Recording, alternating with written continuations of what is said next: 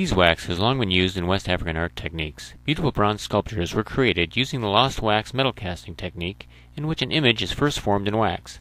Then the figure is enveloped in clay, and the clay fired to melt the figure to create a mold into which molten metal is then poured.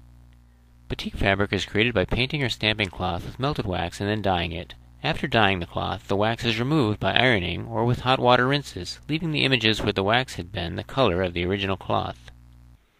I'm not sure if oil lamps were developed preferentially over candle making in Africa, but for whatever reason it does not seem to be generally well known in the rural areas where I have worked that beeswax can be used to make high quality candles.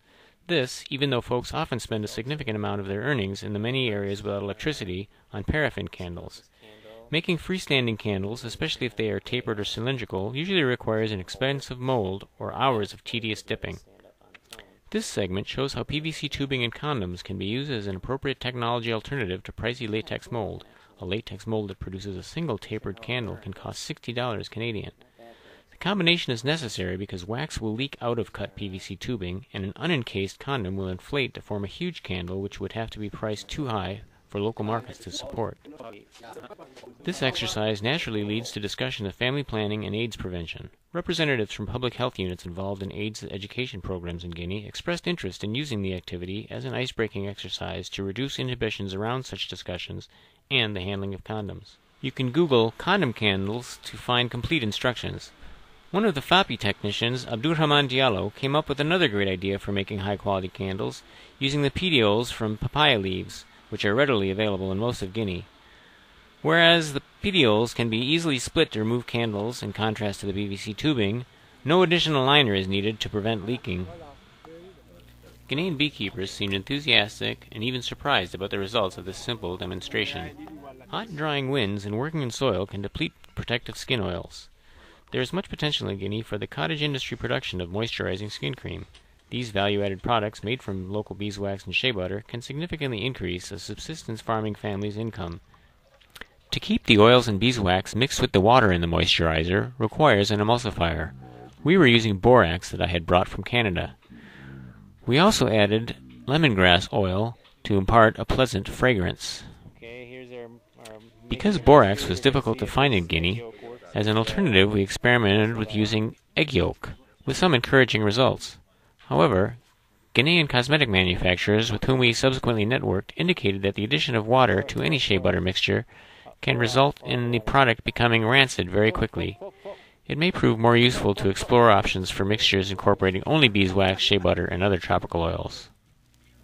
As you can see, demonstrations of the production of moisturizing cream were so popular, participants queued up to take samples home to the rest of the family. Here in Busura, even a youngster seems to enjoy sampling the fresh pomade.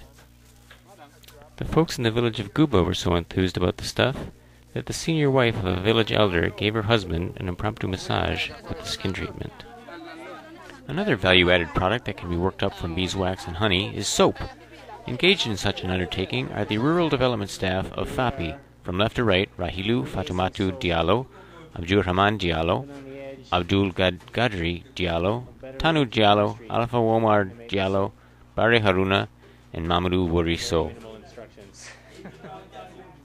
Here, Tanu Diallo and Abdurrahman Diallo, along with local soapmaker Asiatu Jing of Guba, demonstrate how beeswax and honey produced in the community of Horekola can be cooked up with other materials to form the cosmetic cleansing agent. Care must be taken in this process, as it includes the use of caustic soda or lye, which can cause serious chemical burns. Aside from Pular or another local language, most schooled people in Guinea also spoke French, belying the colonial episode of the country's history. However, some folks, such as Asiatu Jing, had also learned English to expand trade opportunities with nearby countries such as Liberia and Ghana. Guba. Nice. We make soap in Faro Guba. We manage to make the soap. So, So- we make 75% and the lion. Excellent. Then we have the another, the another stamp. This is the line, the line soap. The neck soap. So this the this stamp is uh, Guba, Aisata Guba, Nice. This stamp.